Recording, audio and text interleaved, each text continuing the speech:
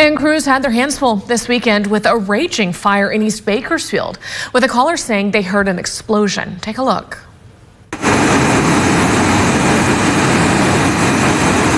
You see the smoke and the flames there. This was happening at a metal commercial building on Washington Street. One of our viewers, Brandon Barraza, sent us this video from the scene.